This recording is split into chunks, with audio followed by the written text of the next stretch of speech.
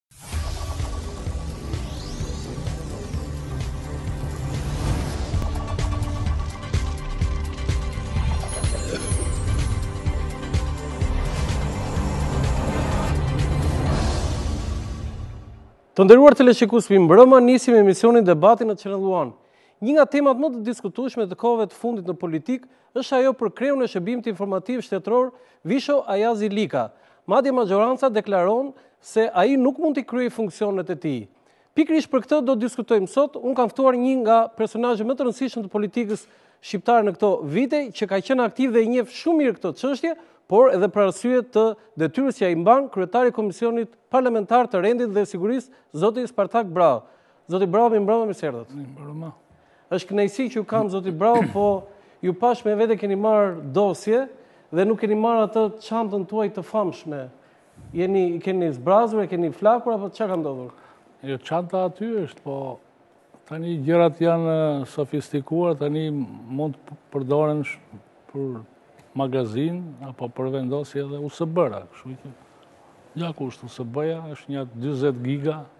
A, ke marrë USB? Kamera mund ta po kamera faleminderit regjia, kjo është USB-ja çantë e zotit Braho.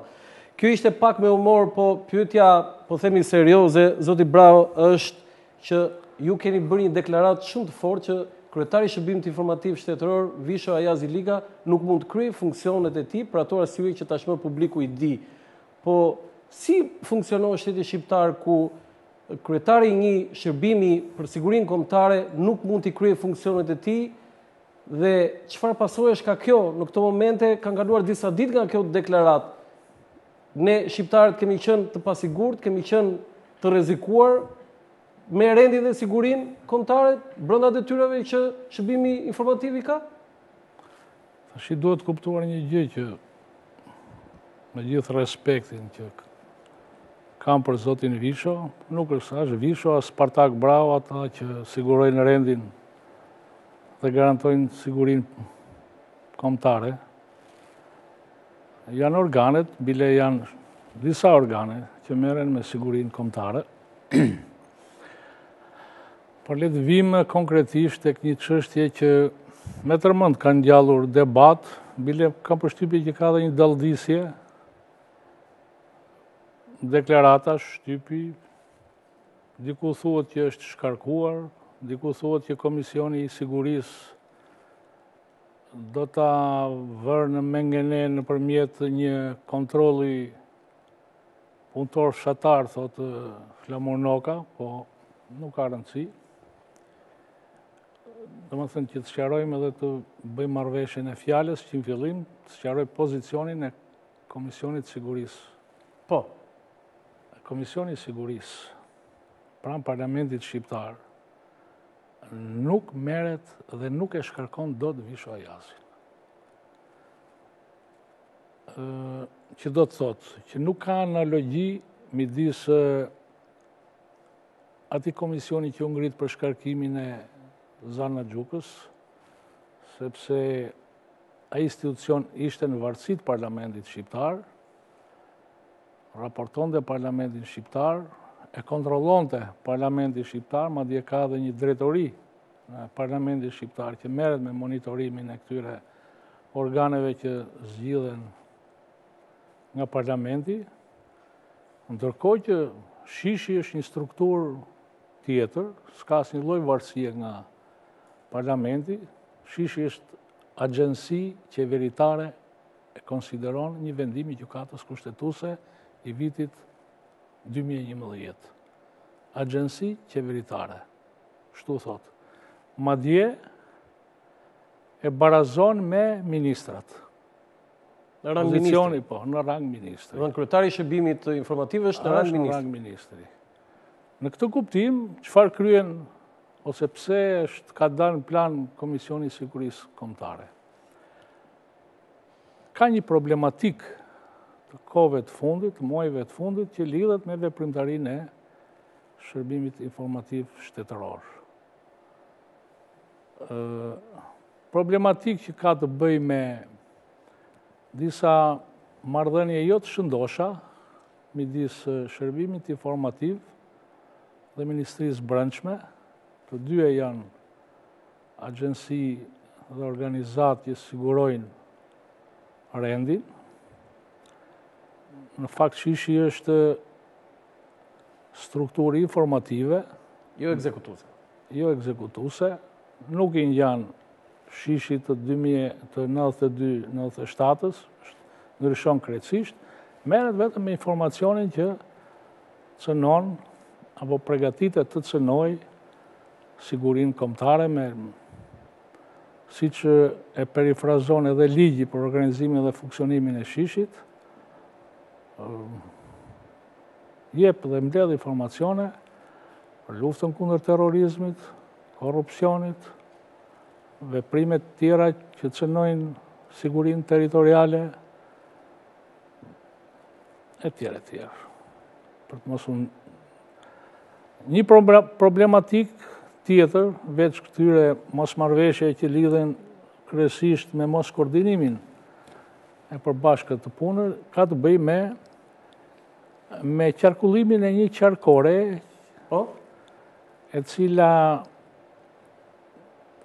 është dërguar nga drejtoria e shishit në degët e saj në rrethe dhe në qarqe, e cila është problematike, po le të ndalemi, le të mbetemi këtu për ta shpjeguar më vonë. Më vonë.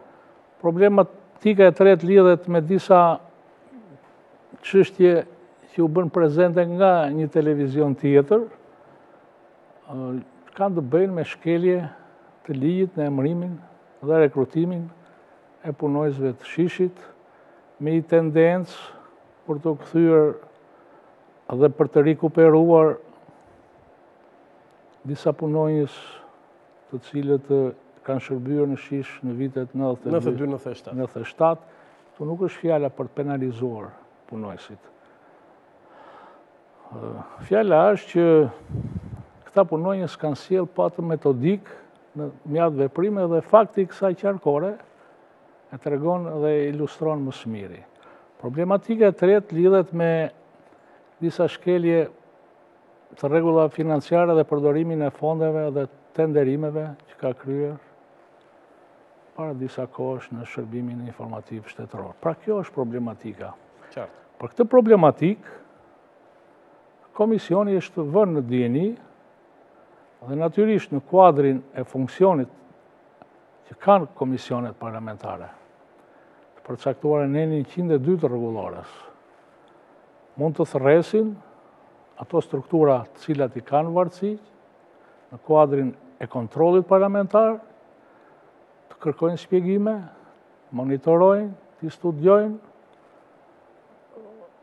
pse jo të dërgojnë, të marrin pjesë aktive në kontrollin pranë këtyre institucioneve, dhe kaq është funksioni që do të kryejë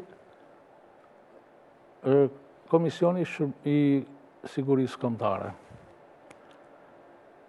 Madje, në qoftë se do të gjykohet për ta, është bërë një kërkesë nga një deputet, po?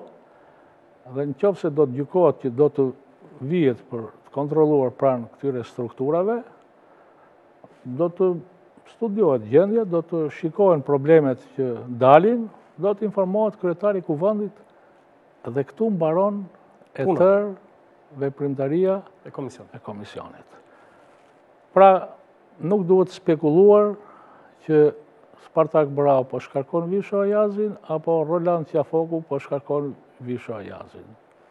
Nuk është ky funksioni i komisionit hetimor. Okej, të falenderoj për këtë qartësi, me të vërtetë u iluminuam në qëndrimin tuaj zyrtar, sepse ka pasur, është e vërtetë ajo që ju thatë, ka pasur disa komente për këtë.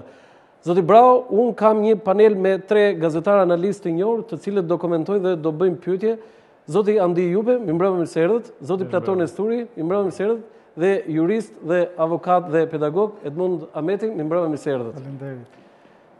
Pyetja për ju, zoti Jupe, tani... Pyetja për zotin Braho. Do të bëni direkt pyetje, nuk, do, nuk kisha asnjë, asnjë mendim për ato që tha zoti Braho. Okej, okay, okej. Okay. Unë desha të di fillimisht, në qoftë se ka vërejtje, ose dyshime për punën e shërbimit,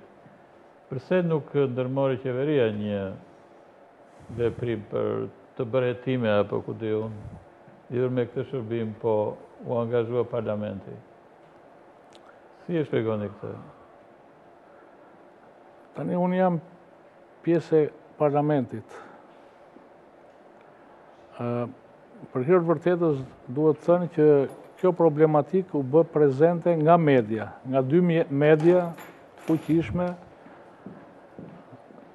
kombëtare. Pas kësaj u informua kryeministri, me sa di unë ka dërguar një inspektor për të verifikuar këto çështje, ndërkohë Zoti Ajazi si drejtues i institucionit, ai raporton një herë në vit, a dy herë në vit, domethënë të përcaktuar me rregullore pranë komisionit. Dhe u mendua që në këtë raportim që do të bëjë në komision, të hidhen edhe këto çështje të ngritura nga media, kjo problematikë të cilën unë e vura në dukje. Dhe kështu u gjykua, domethënë nuk kishte absolutisht asnjë pasion, media informoi që janë bërë emërime në shkelje të ligjit, media informoi që ka qarkulluar një memo, një kërkesë operative e quhet ajo në formulimin e saj në qarkore. Po? Media informoi për debatin midis ministrit të brendshëm dhe drejtorit të SHISH-it, e tëra kjo një problematikë që është në kuadrin e veprimtarisë së komisionit, s'mund të rrimë indiferentë.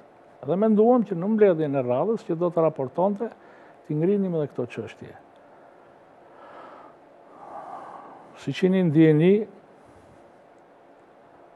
u njoftua Zoti Visho të vinte në mbledhje, rezultoi që ai nuk kishte një dokument të rëndësishëm, një leje të rëndësishme, siç është garancia apo certifikata e sigurisë.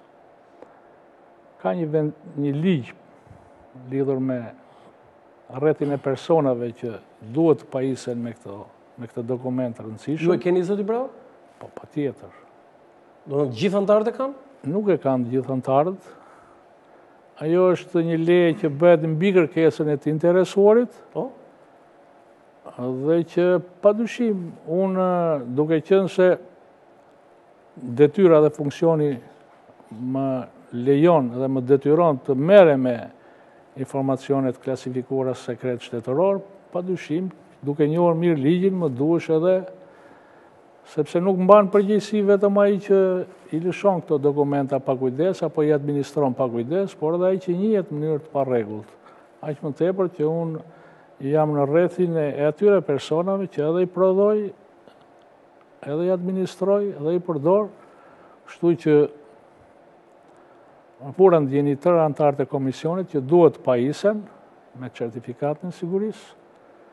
Certifikata e sigurisë sipas një vendimi të qeverisë të vitit 2007 është në tre shkallë, duke filluar nga certifikata e sigurisë nivelit të ulët, nivelit të mesëm dhe nivelit C që është Certifikata e lartë. E lartë e cila jepet edhe nga nga NATO. Në Shqipëri sa janë, po themi, nga certifikata? Të trija janë. Të trija janë. Edhe jepet për persona të cilët njihen me sekrete të këtij lloji. Top sekret, domethënë, Unë e kam marrë, edhe mjaft deputetë të tjerë e kanë marrë. Po këta anëtarët e komisionit, na ilumino pak ti, para se të kalojmë te zoti Nesturi, si nuk e kanë të gjithë të komisioni, dhe... Po, kanë neglizhuar. Po, ata duhet jenë në mbledhje, fjala vjen kur thërritet? Patjetër... Kryetari i shërbimit? Patjetër duhet jenë në mbledhje dhe... Edhe pa certifikatë? Jo, pa certifikatë, je peqë, unë i nxora për po, po, po. jashtë. Ata që s'kishim certifikatë unë i nxora për jashtë, po ne na rezultoi që po. vetë kryetari i shërbimit s'kishte certifikatë, ose i kishte mbaruar afati i certifikatës. Në fakt, ka ndryshim, zoti Braho, ka mbaruar afati dhe s'kishte certifikatë? Ka ndryshim, por ekzaktësisht do të thotë që s'ka certifikatë që ose i ka mbaruar afati. S'ka, s'ka, ndodhin kështu që. Zoti Nesturi? Nëse do të përqendrohemi ke pjesa e fundit te certifikata. Me sa di unë, zoti Visho Ajazi ka një certifikatë që e ka marrë gjatë kohës që ka qenë zëvendësministër i Ministrisë së Teknologjisë. Inovacionit. Po, dhe nuk e ka marrë meqë ka marrë detyrën si kryetari i shërbimit informativ. Dhe këtu duhet jetë kategorizimi e ke fjalën plator? Nuk e di, këto janë çështje që i diskuton vetë komisioni. 3, 2, 1. I dinë vetë këta, domethënë. por që e kam fjalën që në rastin konkret, ai nuk është përkujdesur dhe që normale ia do detyra, që disa muaj përpara që ta bëjë kërkesën. Realisht, kjo sjell një lloj ngërçi shumë të madhë, sepse duke qenë një sistem piramidal, shërbimi informativ, dhe që për shumë çështje i takojnë vetëm kreut të shërbimit informativ, pavarësisht se janë janë zëvendës të tij, por që kanë një status të kufizuar për një sërë çështjesh që janë të klasifikuara, dhe që po. nuk mund të marrin drejtim, nuk mund të marrin urdhër, nuk mund të jepet një urdhër i qartë për to, po. i caktuar, atëherë kjo i lind e drejta për t'i dhënë drejtim çështjeve, vetëm kreut të shërbimit informativ. Në momentin që nuk e ka, ligji e ka të qartë që ai nuk mund ta ushtrojë këtë detyrë. Kështu që ngrihet edhe një problem tjetër që ka të bëjë pikërisht gjatë kësaj kohe që ky person që është kreu i një institucioni kaq të rëndësishëm, nuk e ka këtë. Atëherë si funksionon? Po zoti Braho e ka thënë që ai nuk mund të ushtrojë funksionet e vet. Kjo duhet shpjeguar. Çfarë po pra, çfarë do të thotë kjo? Kjo do të thotë që ai nuk mund të jetë, nuk mund të japë një urdhër, nuk mund, fundi i fundit nuk mund të firmosë diçka, sepse nesër shkon për ndjekje penale. E kam të qartë këtë gjë? Domethënë e kam të saktë? Shumë saktë. Sepse ai në qoftë se firmos diçka sot, ndërkohë që nuk e ka certifikatën e... Shpërdorim detyre. Shpërdorim detyre dhe shkon për ndjekje penale. Kështu që është një problem, që është një ngërç, jashtëzakonisht i madh për funksionimin e institucionit. Si zgjidhet kjo, zotë bërë? Kjo është një çështje që duhet ta zgjidhë vetë drejtori i shërbimit, si rregull, tre muaj përpara se t'i mbaronte afati, ai duhet të plotësonte, ka një formular. Formular. Ka dhe një institucion që merret me lejimin apo lëshimin e certifikatave, nuk e ka ndjekur këtë procedurë, kështu që tashti para disa ditësh ka ripërsëritur kërkesën. E ka bërë kërkesën? Ka bërë kërkesën. Ka një afat tremujor, Kujt ia ka drejtuar kërkesën? Institucionit. Institucionit përkatës. Institucionit përkatës që lejon certifikimin, por certifikimi i drejtorit ka disa probleme, sepse duke qenë se ai administron materiale top sekret, Nuk pyeten vetëm institucionet brenda vendit. Pyeten institucionet partnere. NATO. Deri tek NATO. Ka edhe një problematikë tjetër, se zoti Ajazi ka jetuar për një kohë të gjatë mbi 10 vjet në Kanada. Është qytetar nderi. Qytetar shtetas. Shtetas. Shtetas. Ka shtetësinë. Ka shtetësinë. Nënshtetësinë, po po. Ka shtetësinë kanadeze. Kështu që duhet pyeten edhe shërbimet analoge të Kanadasë lidhur me kohën e qëndrimit të tij në këtë vend, ka dhe një specifikë tjetër, certifikata top sekret, sepse gërmohet apo studiohet Jo vetëm tek burri dhe tek gruaja, por dhe tek fëmijët, tek të afërmit, tek njerëzit që e rrethojnë. Kështu që ka një procedurë shumë, shumë, Dhe nuk është një vërtetim penaliteti që je dënuar, apo s'je dënuar, siç merret në gjykatë rëndom. Nuk është dëshmi penaliteti. Kjo e bën një çikë problemin të ngatërruar. Andaj është tre muaj. Andaj është lënë tre muaj. Andaj është dhe tre muaj. Zoti Ameti? është shumë i qartë. A më fale, do të më fale se harrova diçka. Po, patjetër. Në certifikatën që ka patur në dispozicion, ai nuk e ka të verifikuar periudhën që ka qenë në Kanada. Periudhën që ka qenë në Kanada. Kjo për përlej. Ka jetuar në jo, Kanada. Jo, është thënë me gjysëm zëri nga një kolegu im, që jo e ka të falsifikuar, jo s'e ka të plotë, jo kështu apo ashtu. Realisht nuk ka arritur të sigurojë ish-drejtori i mëparshëm i DSIK-së që të komunikojë me organet homologe kanadeze për të për të dhënë dhe ata okejnë. Pra nuk ka një okej nga nga këta organe. Po, shteti... S'është vetëm Zoti Visho, aty ka dhe persona tjerë që punojnë në SHISH, të cilët kanë jetuar jashtë shtetit dhe nuk i kanë të rregullta këto këto gjëra. Domethënë, ligji është shkelur. Shteti i huaj nuk është i detyruar të japë informacion në këtë rast. Jo, ka marrëveshje, ka marrëveshje midis shërbimeve, cilat i rregullojnë këto çështje. Okej, okej. Zoti Hameti? Ajo që do thoja, arsyetimi i zotit kryetar të Komisionit të Sigurisë dhe Rendit në Parlamentin Shqiptar, në kuadrin e teknikaliteteve është pothuajse e pamundur që të kemi një proces të, të përfunduar shpejt për sa i përket verifikimit të certifikatës së sigurisë. Por sigurisht për shkak të ndjeshmërisë që ka dhe të varësisë që ka nga kryeministri, Duhet të qartësojmë edhe publikun dhe gjithë personat që janë përfshirë në këtë kryesisht dhe mediat, që shërbimi informativ shtetëror është një organ që mbikëqyret në hierarki nga parlamenti, presidenti dhe kryeministri, është një organ që funksionon në emër dhe llogari të kryeministrit, ashtu sikundër është edhe mënyra se si emërohet me propozim. Okej, po, po e fokusojmë këtu, zoti Hameti, ju si jurist, si avokat, si pedagog i jurisprudencës. Më ilumino mua pak me këtë që një pjesë e opinionit janë me të drejtë apo pa të drejtë thonë që këtë që bën zoti Braho dhe pjesa e maxhorancës është politike, duan të shkarkojnë Visho Ajazin apo këta kanë të drejtë juridikisht, teknikisht dhe tani ta ndajmë këtë gjë, sepse kundërshtarët shumë thonë zoti Braho dhe maxhoranca do të shkarkojë Visho Ajazi Likën. Pikërisht, ky është dhe nevoja e opinionit publik shqiptar që të që të ballafaqohet me argumentat. Dhe fakti që prania e zotit Braho këtu për të folur për këtë çështje, besoj se do hedhi dritë dhe mbi këtë jo, problematikë. Jo, ju vetë si jurist, çfarë çfarë kuptoni nga kjo se dakord, unë jam gazetar. Sigurisht që do jetë në vërbullin politikë. A ndajmë dot politikën nga pjesa teknike apo zoti Visho Ajazi është në rregull dhe po i bie në qafë Shiko, ne, politika.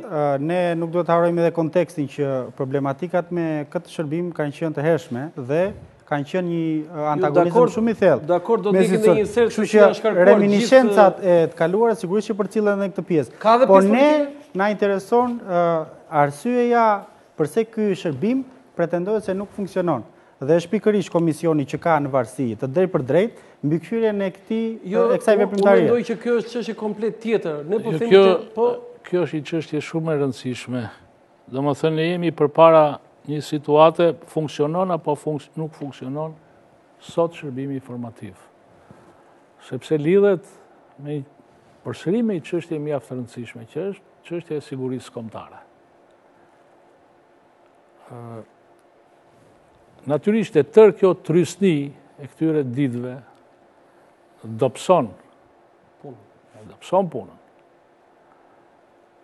shërbimi ka atë që quhet punonjësit legalë të tij, inspektorët, agjentët legalë, të cilët gërmojnë, mbledhin informacione për mjaft çështje që lidhen me problematikën e luftës kundër terrorizmit, a kundër krimit, korrupsionit, por tashti ata kanë ngritur veshët se thonë, ore, po ne ç'na ka gjetur, ne po na heqin drejtorin, Ne s'kemi drejtor, drejtori është rri me një këmbë, sepse s'ka të drejtë firme, nuk drejton, domethënë, eficienca e organit për hir të së vërtetës, duhet thënë, duhet thënë që është ulur. Por nuk është kjo çështja, sepse mund të zgjidhet në kushtet e një certifikimit të shpejtë e të saktë,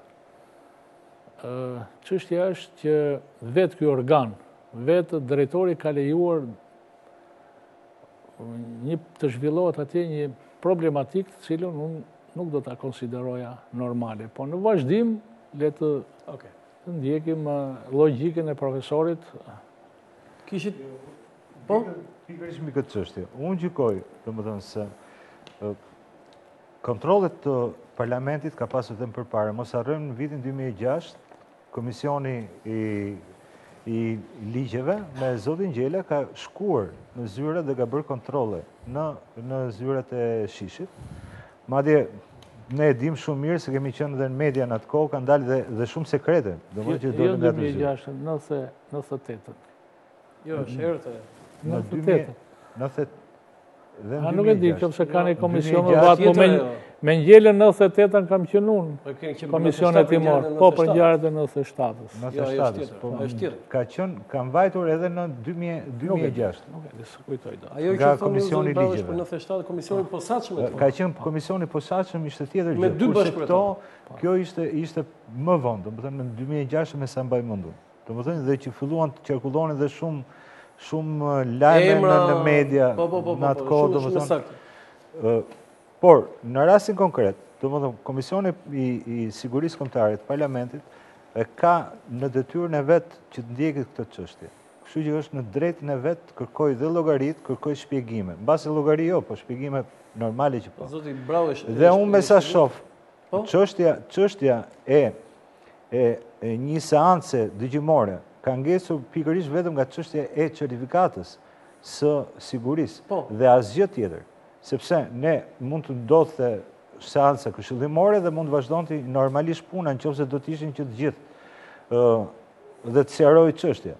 Problemi që ka të bëjë, ka të bëjë pikërisht paktën me qarkoren, e cila në formën se si është hartuar, është shumë problematike, sepse nuk mund të nxirret një urdhër i tillë duke duke bërë themi nxjerrje informacione apo për t'i ndjekur në grup. Për këtë qarkore e keni fjalën? Qarkoren për lidhur me drejtuesit e rinj të policisë së policisë së shtetit nëpër rrethe të ndryshme. Domethënë informacion? Po, mbledhja e informacionit për të gjithë punonjësit. Ju jeni duke thënë që kjo është e jashtëligjshme? Mënyra se si është e shkruar, nuk është e saktë dhe nuk është brenda ligjit. ta themi në, në, në, në këtë gjuhë. Nuk është brenda ligjit sepse sipas gjithë procedurave që ndiqen në rastet e ndjekjeve dhe grumbullimit të informacioneve, atëherë duhet të ketë një kazus, duhet të ketë një çështje, një arsye, dhe mbi një grup personash. dhe nuk mund të bëhet një të verifikosh në grup, në total, gjithkush i cili është emruar në policinë e shtetit ndërkohë. Kështu që në këtë sens është normale domethënë që duket sikur kemi një lloj ballafaqimi midis institucioneve. Një përplasje, luftë e ftohtë. Mos themi më tutje. Kjo është një aspekt. Meqë ndalëm, e jam plotësisht dakord me Ta vazhdoj po, po, edhe po, një sekondë më fal, më tepër këtë po e them për publikun, sepse është mirë edhe të hapet çështja e shërbimit informativ për mënyrën se si funksionon.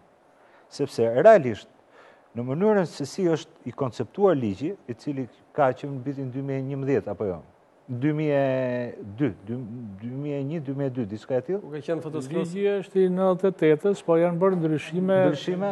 Herëpashershme, deri në dy mijë e gjashtën, po, bërë ndryshime. Po, mënyra domethënë se si përzgjidhet, ka një një një lloj kontradikte, sepse mënyra e sotme... E emërimit e keni fjalën? Emërimit, në mënyrë, në momentin që emërohet një kryetar i shërbimit informativ, realisht shndërrohet një lloj sultanati. Sepse kemi të bëjmë me, me çështje të cilat kanë bëjmë, me zgjidhet në qofë se kemi një, një rakordim midis presidentit dhe kryeministrit për përzgjedhjen e, e kryetarit të rendit, të shërbimit informativ, ndërkohë që në qoftë se kemi një përplasje midis kryeministrit dhe presidentit, ai është gjithmonë mund të luajë balancat midis dyve dhe nuk nuk mund ta heqë dot asnjëri.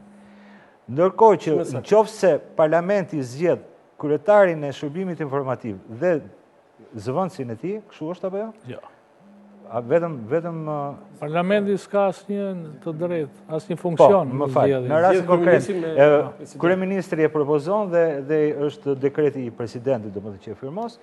Atëherë, nga ky moment, gjithë struktura poshtë është vetëm nuk mund të ndërhyjë dot, ndonëse është agjensi në varësi qeveritare, kryeministri nuk mund të ndërhyjë pra në asnjë lloj, në asnjë lloj emërimi të brendshëm. As ndryshim strukturash... Absolutisht fare. Domethënë, edhe për sa i përket inspektoriatit, inspektorit të përgjithshëm, që ka pranë kryeministrit, që duhet të jetë pranë kryeministrit, faktikisht ai merr rrogën Tek shërbimi informativ, pra nga drejtori i përgjithshëm, domethënë nga kreu i shërbimit aktual. Po, po. Kështu e ka ligji. Kështu që është në varësi të tij? Është në një farë mënyrë është në varësi të tij.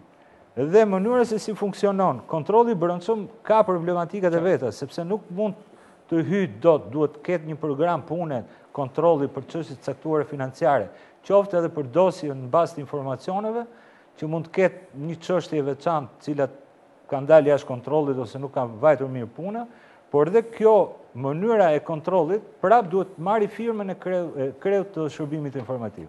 Pra, këtu nuk është vetëm çështja pse po diskutojmë për, për zotin Visho Ajazi, po, se nuk ka rëndësi fare. Kushdo që do ishte? Për mua, për mua është momenti që ta hapim mënyrën se si duhet të kemi edhe një lloj ndryshimi në, në ligj, në mënyrë që ta rregullojmë këtë gjë, jo vetëm për për rastin konkret, por për për për vijimësinë e punës edhe në mënyrë që të ketë kontrolle direkte, në mënyrë që të shkojë puna drejt dhe në bashkëpunim me të gjitha institucionet e tjera, sepse në momentin që krijohet një lloj piramide ku kreu nuk mund të nuk mund të lëvizë si rezultati i përplasjeve që mund të ketë presidenti me kryeministrin, atëherë kjo mund të dali okay. komplet jashtë kontrollit. Duhet të ketë një rregullore e cila të okay. ta ndajë mirë këtë çështje. Zoti Braut kërkoj ndjesë, kemi publicitet pak minuta dhe kthehemi sërish në studio.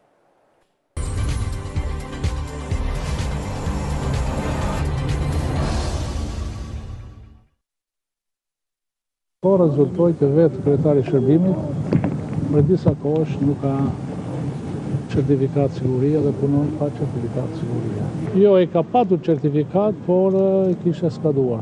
Ka një handikap që kryetari i SHISH-it sot është i pacertifikuar, nuk mund të ushtrojë funksionet e tija normale, sepse që të ushtrojë funksionet E tija normale duhet të japë e të marrë informacion të klasifikuar sekret, atij mungon certifikata, duhet të presë dhe të vihet në funksion të detyrave të tij vetëm në periudhën që ai do të certifikohet. Nuk ka bir nëne që të përgjojë mua.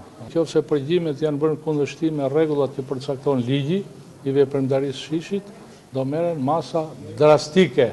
Personat që kanë urdhëruar përgjime të paligjshme do të mbajnë përgjegjësi administrative dhe penale. Në raport me çdo institucion të pavarur, kjo mazhorancë po fakton brenda një kohe shumë të shkurtër që nuk njeh konceptet bazë të funksionimit të shtetit ligjor dhe respektimit të institucioneve të pavarura. Dhe në çdo hap Kur mazhoranca i kundërvihet Kushtetutës, ligjit, institucioneve të pavarura, do të ketë përballë një opozitë të vendosur për të bërë pikërisht atë që dëgjuat dhe dje nga funksionarët e lartë amerikanë, rolin e saj në mbrojtje të institucioneve të pavarura, në mbrojtje të Kushtetutës, në mbrojtje të ligjit.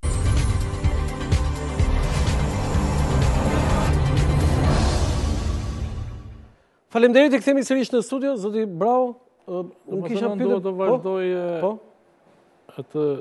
Ta sqaroj më në thellësi ato që paraqiti profesori. Në nenin 4 të ligjit për shërbimin informativ thuhet, SHISH-i është institucion qendror, i centralizuar, që varet nga kryeministri. dhe më poshtë organizimi dhe struktura miratohet nga kryeministri. Që do të thotë që këtë interpretim që është bërë në një rast nga Gjykata Kushtetuese mbi ankesën e paraqitur nga Partia Demokratike në vitin 2011, Gjykata Kushtetuese shprehet SHISH-i Është agjenci qeveritare. Që do të thotë emërimin dhe shkarkimin e bën kryeministri. Do të thoni ju cili është pozicioni i presidentit. Po, po. Pozicioni i presidentit është një lloj me atë pozicion që ai kundërfirmon ministrat kur kryeministri propozon kabinetin. Që do të thotë? Që do të thotë vetëm kundërfirmon. Kaq ka të drejtë ai. Të kundërfirmojë. Me këtë që thoni ju është i shkarkuar Visho Ajazi Lika? Nuk e di, me këtë që thashë unë, e ka thënë edhe presidenti aktual, zoti Nishani, i cili në një prononcim Në nëntor 2013-ës thotë kështu, fjalë për fjalë. SHISH-i është pjesë e përgjegjësisë së pushtetit ekzekutiv. Për sa kohë flasim për çështjet e sigurisë, përgjegjësinë institucionale e ka qeveria. Ai duhet të funksionojë në mënyrë të pavarur, i pandikuar nga interesat politike të qeverisë, por në kuadrin e objektivave qeverisëse të një qeverie të caktuar. Ka qenë një kërkesë tërësisht ligjore dhe mbi bazën e kompetencave që i takojnë kryeministrit, për shkaqe që më janë paraqitur mua, bën fjalë për Për situatën e shkarkimit të Bahri Shaqirit, nga kryeministri i vendit në takime zyrtare që janë bërë pikërisht për këtë çështje. Kishte një kohë mjaft të gjatë që zoti Shaqiri ishte në detyrë dhe unë besoj se askush nuk është i pazëvendësueshëm në detyrën e tij. Kryeministri kërkoi shkarkimin e tij, unë e miratova sepse nuk shkonte me kryeministrin. Ka qenë dekreti i parë.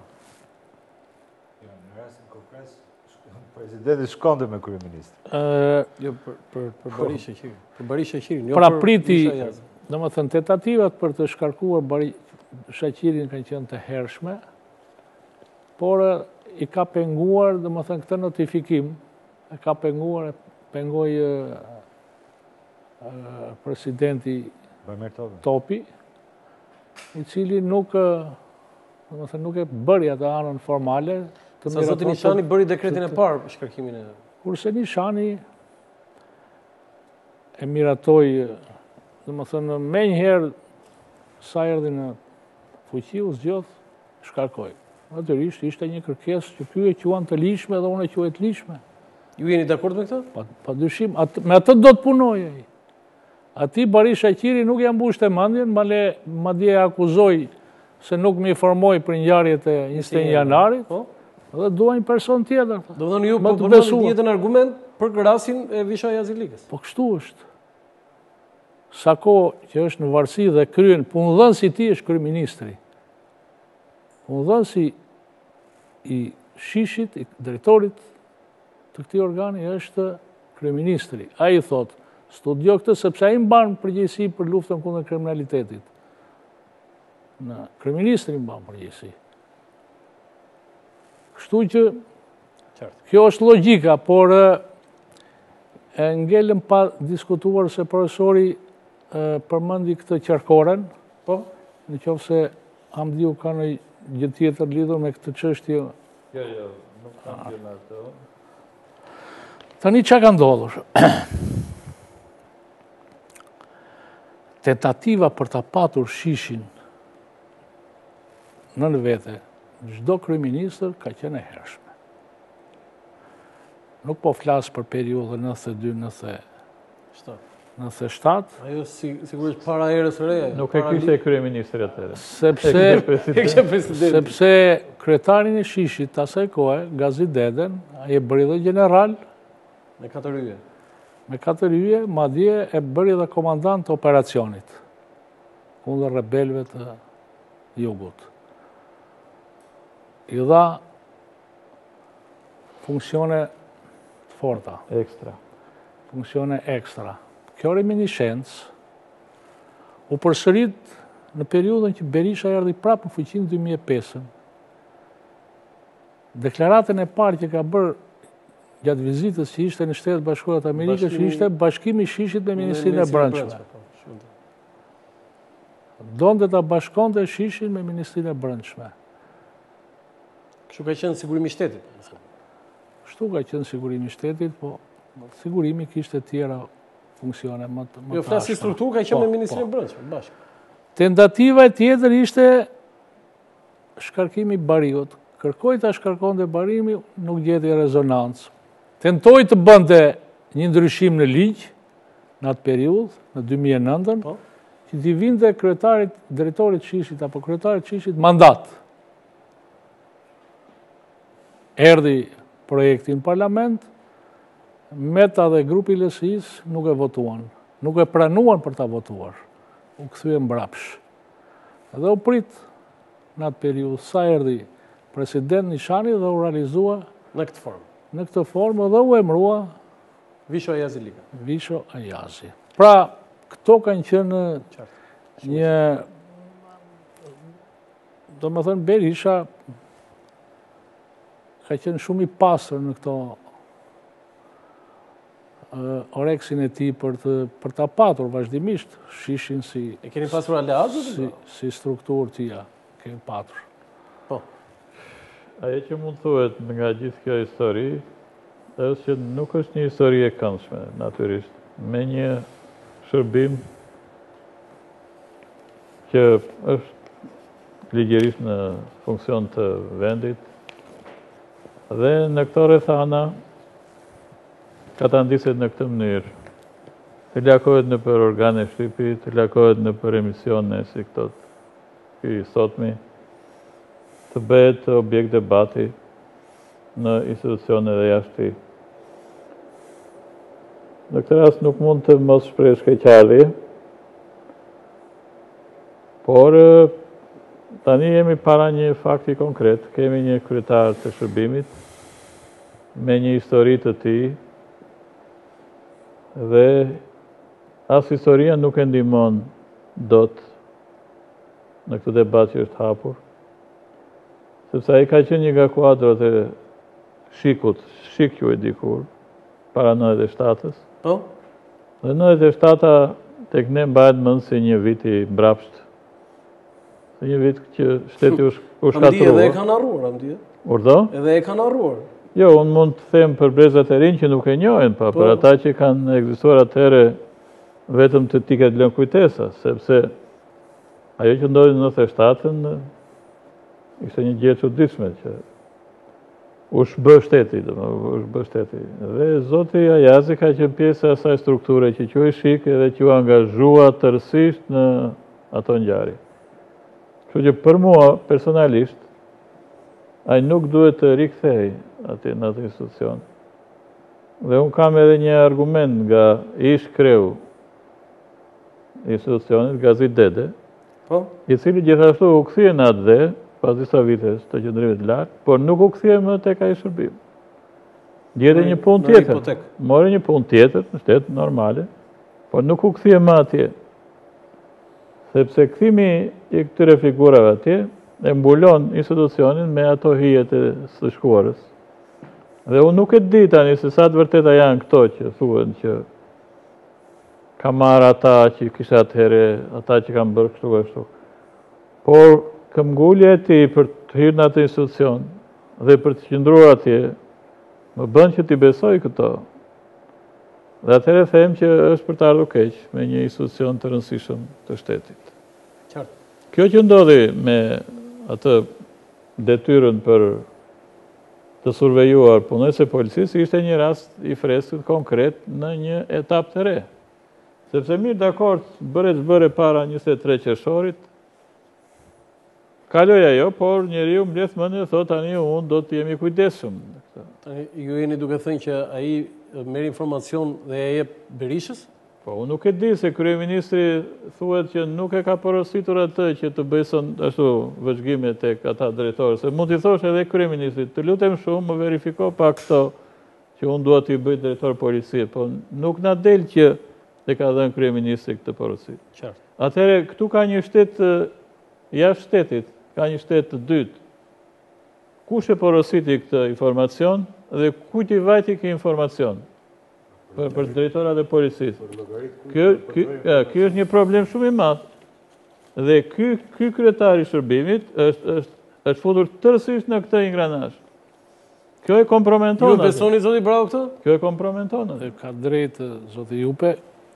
Kjo është, domethënë, kjo i vë kapakun, ë si të thuash, e lexon të tërë atë që neve mund të mendojmë ose mund të paragjykojmë. Kjo kërkesë operative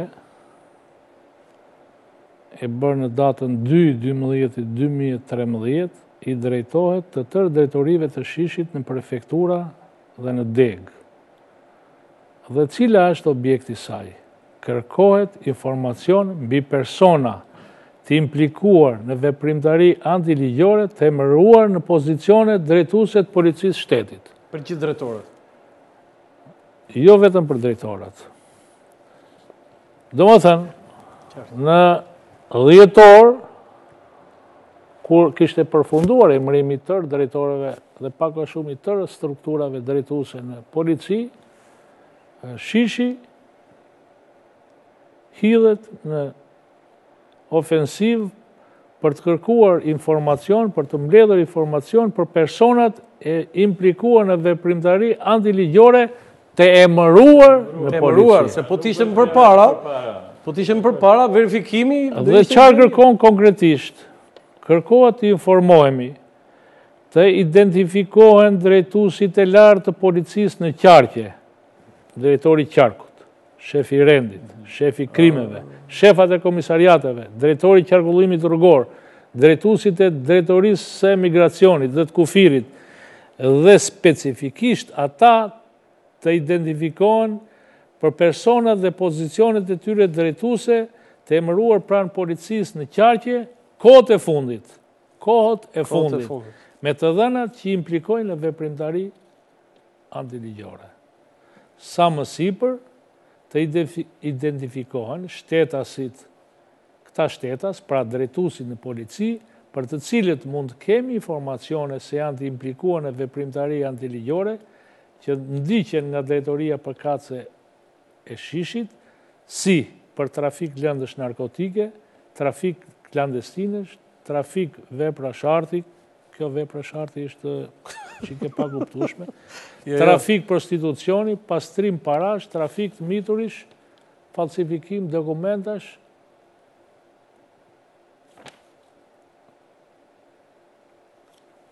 e tjerë. referuar administrimit të informacioneve dhe grumbullimit në thellim të tyre, u drejt u u, u kërkojmë dhe u dërgojmë këtë shkresë për informim. Pra dhe në thellim, ça ka ndodhur? Po? Mirëpo, drejtorët e qarqeve emërohen nga kryeministri. Personat e tjerë, nën drejtorat Ata që janë nën drejtorët e qarqeve, emërohen nga ministri apo drejtori i përgjithshëm i policisë. Kjo shkresë kërkon të verifikojë ata që ka emëruar kryeministri. Kur këta, siç e tha dhe ai, porosit për verifikim për një problematikë të caktuar, që Hamdiu apo Spartaku janë me të dhëna negative, dyshohen kështu kështu, ai duhet t'i marrë o mbi bazën e kërkesave që bën kryeministri, ose mbi bazën e kërkesave që bën ministri i brendshëm. Ai punon me drejtime, nuk punon me drejtime, nuk punon me, me këtë objekt konkret, që të vejë të marrë drejtorin e policisë Durrësit dhe Ta fusë në, në, në domethënë, e kam thënë një vend tjetër. Kur tentoi të bënte Koçi Xoxe këtë gjë, Enver Hoxha i preu kokën.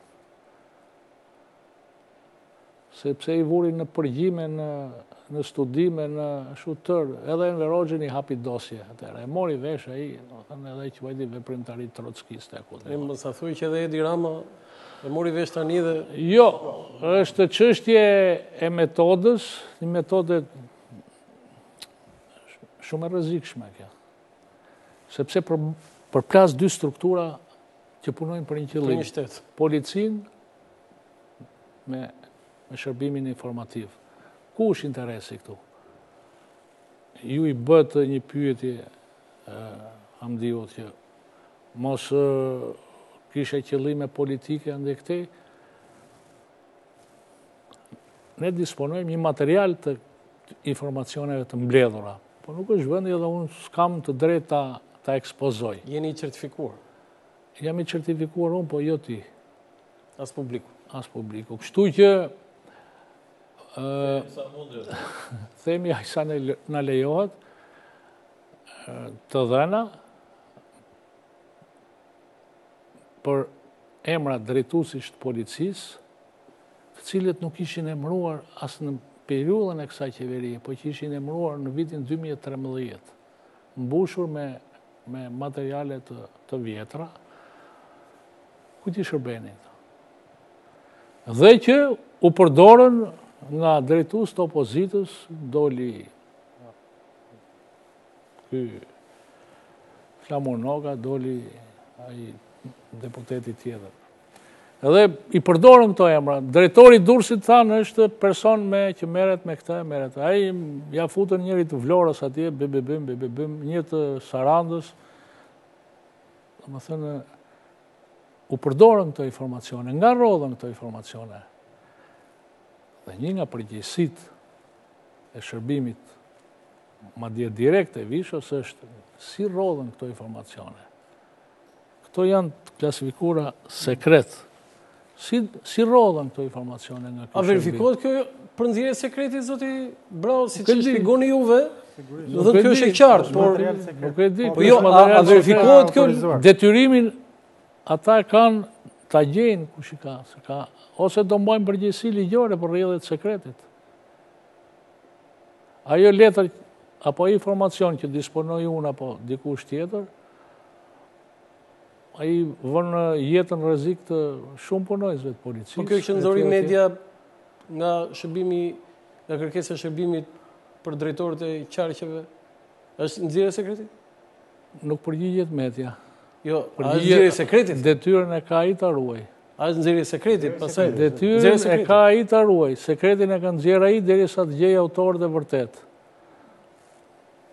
Që nga shumë serioze çështje më shumë. Po. Po. Vetëm me që jam në vazhdim të kësaj. Me sa di unë ke, ke ajo qarkore që është aty, të unë kur hartohet një qarkore kësaj natyre, duhet të thënë shprehimisht, në bazë të nenit kaq, ligjit kaq, Të këto këto janë çështje të cilat nuk referenca, referenca ligjore.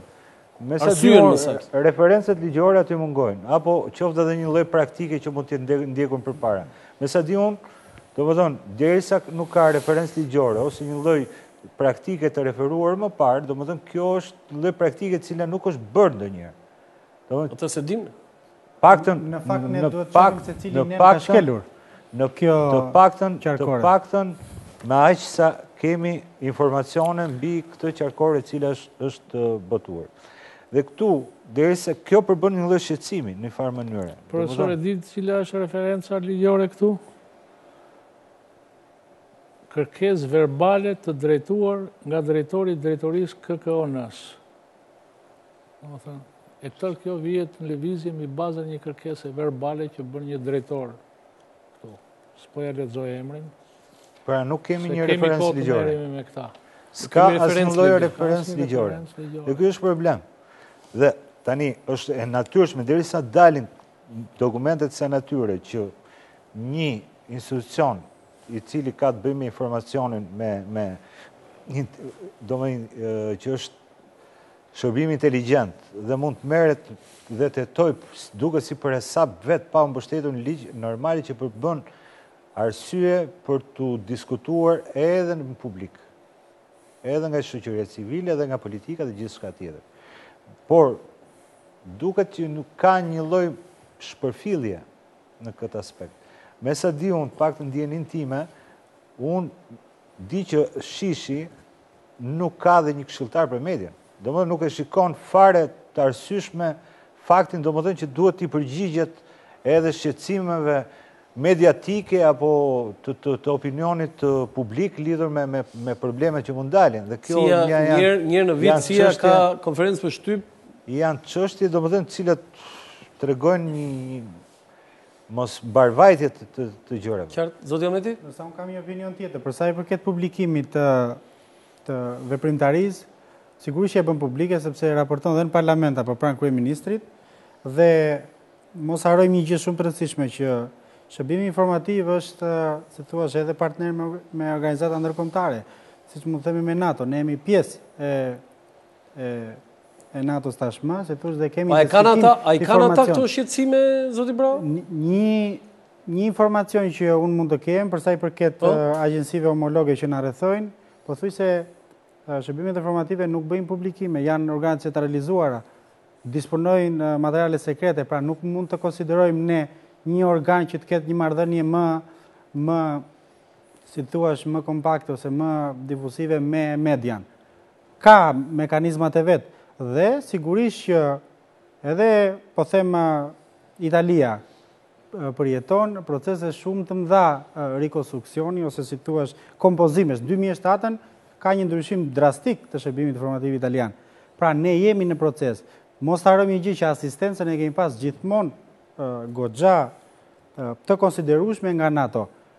trajnimet apo pjesa e sigurisë, sepse dhe vetë aderimi në atë lloj organizate kërkon një nivel sigurie të lartë. Pikërisht ne edhe për këtë duhet të shqetësohemi që këto lloj prova që dalin, se edhe këto prova janë ashtu siç tha dhe zoti Brau janë të paligjshme, janë sekret dhe gjithë qëndrimi i këtyre materialeve duhet të ishte brenda komisionit hetimor, që është organi kompetent për të shqyrtuar ligjshmërinë dhe kushtetueshmërinë e këtij organi kushtetues. Megjithatë duhet të jemi të kujdesshëm thashë edhe për partnerët ndërkombëtarë që ne jemi për sa i përket edhe strategjisë së sigurisë kombëtare. Më të kujdesshëm s'ka Zoti Ahmeti e ka marrë në dorë një komision dhe është bërë pikërisht këto lloj informacioni që për mua i shërbejnë dhe publikut. Po Brau, do të kjo është. Zoti Brau, pyetja tani që shtrohet është si do zgjidhet e gjithë kjo se jo, jo. çështja qenka më e rëndë se sa ne shikojmë aty diskutimet aq sa mundet në komision.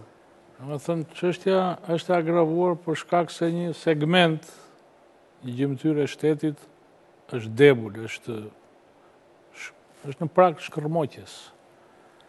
Ju bëtë një pyetje, a janë shqetësuar partnerët ndërkombëtarë? Po? Para disa ditësh, zonja Kodheli deklaroi se gjatë vizitës që kishte bërë me homologë të saj në NATO, ishin shprehur që ne nuk kemi besim tek ju për sa i përket çështjeve të sigurisë. Që do të thotë që edhe shërbimi informativ i ushtrisë ka ecur në të njëjtën linjë, madje do të dëgjoni më vonë edhe disa Xhavahire më të rënda dyshohet për dyshohet, unë do ta them. Po? Po përgjime jo vetëm të opozitës që kanë qenë të zakonshme, po edhe të diplomatëve të huaj. Shumë shpejt, këto gjëra do të evidentohen dhe do të bëhen konkrete nëse janë të sakta. Besoj se janë sakta. Kështu që ky është edhe shqetësimi dhe kjo është më e rëndë që partnerët ne i shikojnë shërbimet tona të sigurisë me një lloj dyshimi. Kjo është më e rëndë. Pa harruar faktin që ky shërbim aktualisht sot ministri i Brendshëm thotë është impotent, është Nuk funksionon, nuk merr të dhëna për për informacione që lidhen me terrorizmin apo me granatat tritolin e tjera e tjera. Mungon koordinimi. Nuk ka patur asnjë informacion për tritolin, thotë Ministri i Brendshëm. Çarë bën ky shërbim? Mirë, edhe këto janë çështje që komisioni do t'i verifikojë, do t'i shikojë, do t'i studiojë, do të shprehet me qetësi, me objektivitet. Dhe etapa tjetër? Dhe etapa tjetër është që do të informojë Kuvendin e Shqipërisë. Kaq, dhe këtu mbyllet puna e komisionit? Këtu mbyllet detyra dhe funksioni që kryen komisioni. Por duke llogaritur edhe pjesën... Duke falënderuar me këtë rast qoftë se janë të sakta, Tërë ato personazhe apo struktura të medies që i hapën dhe i bënë prezent këto po gjëra. Po patjetër media pa median zoti Braho duke i shkuar idesë së profesorit që ky shërbim duhet të civilizohet. Ka nevojë që të ndryshojë në strukturë dhe ne jemi në përpunim të idesë të ndryshimeve në ligjin për organizimin dhe funksionimin e SHISH-it, madje ka një handikap ky ligj, po?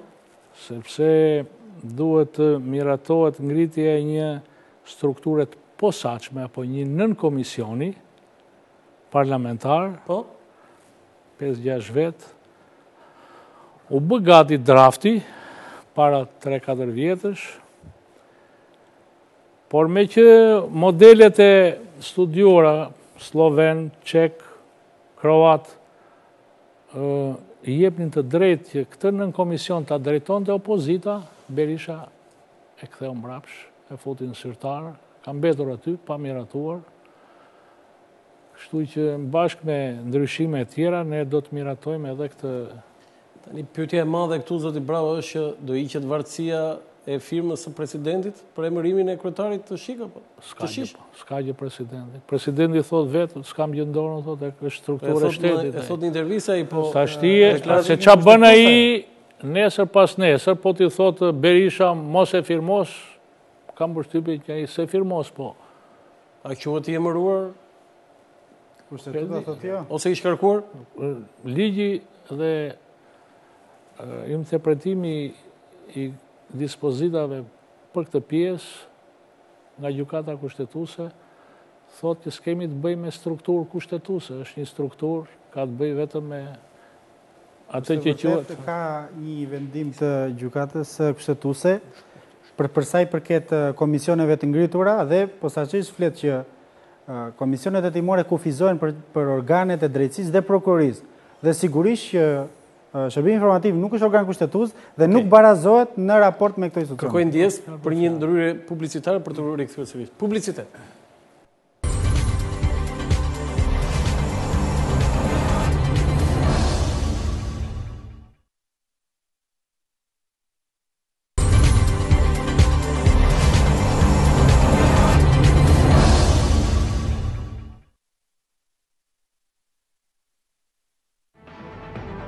Një mijë e nëntëqind e nëntëdhjetë e një deri në vitin dy mijë e katërmbëdhjetë, kush janë nëntë drejtuesit e SHISH?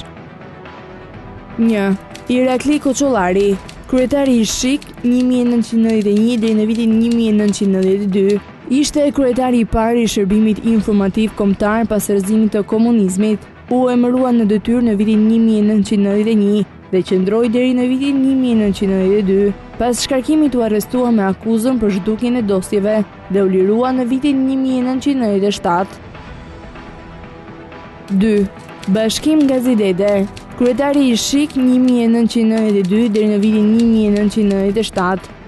Kryetari i Shërbimit Informativ Kombëtar, në periudhën më të anatemuar të këtij shërbimi, pas shkarkimit në prill të vitit 1997, u largua nga vendi dhe jetoi si azilant në Siri dhe Turqi. U kthye në Shqipëri në vitin 2005, vdiq me 25 tetor të vitit 2008, u shkarkua. 3. Arben Karkini, kryetari i SHIK, prill deri në gusht të vitit 1997. Ishte kryetari i shërbimit informativ kombëtar pas marrëveshjes së 9 marsit të vitit 1997, i propozuar nga partia republikane. Qëndroi në detyrë deri pas marrjes së detyrës nga qeveria e Fatos Nanos, i cili e shkarkoi duke marrë dhe okejnë e presidentit Mejdani. Katër, Fatos Klosi, kryetari i SHISH, 1997 deri me 7 gusht të vitit 2002, ishte kryetari i parë me emrin e ri SHISH, u shkarkua me 7 gusht të vitit 2002 nga kryeministri Fatos Nano dhe me dekret të presidentit Alfred Moisiu. Pas një procesi jetimor i akuzuar për abuzim me naftën e institucionit që drejtoi, u shpall i pafajshëm.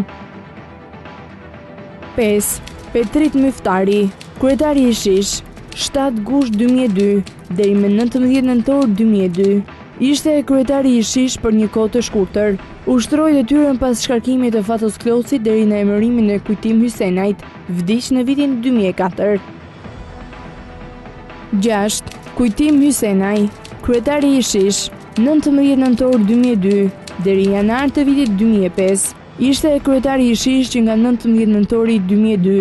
Dikur diplomat i dha një fytyrë të re këtij shërbimi. Vdiq në detyrë në janar të vitit dy mijë e katër. Shtat, Ylli Alushi, kryetari i SHISH, janar dy mijë e pesë deri më mars dy mijë e pesë. Ushtroi detyrën e kryetarit të SHISH në një periudhë afër tremujore, pas vdekjes së Kujtim Hysenaj duke qenë se ishte zëvendëskryetar i këtij shërbimi. 8. Bahri Shaqiri, kryetari i SHISH, mars 2005 deri në gusht të vitit 2012, ishte kryetari më jetëgjatë në detyrë si kryetari i SHISH. U shkarkua nga kryeministri Sali Berisha dhe mori okej me dekretin e parë si president i Bujar Nishanit. Shkarkimi i Shaqirit u shoqërua me debate të ashpra mes mazhorancës dhe opozitës, por kritika kanë bërë dhe institucionet ndërkombëtare. 9. Visho Ajazi Lika kryetari i SHISH, gusht 2012 në vazhdim. Ka një nismë nga mazhoranca për ta shkarkuar nga detyra kryetarin aktual të SHISH, po kjo po has në rezistencën e fortë të opozitës dhe duke llogaritur dhe presidentin e republikës, një shkarkim i tillë duket i vështirë.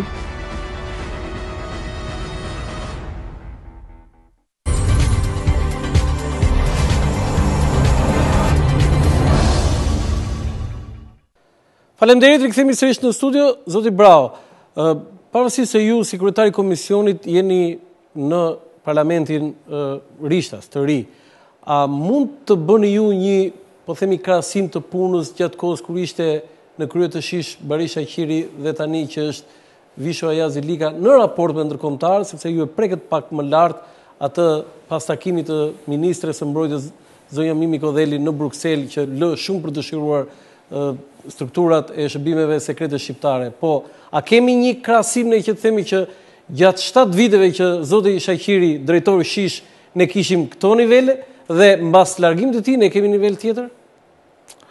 Jo, nuk kam një koment të tillë.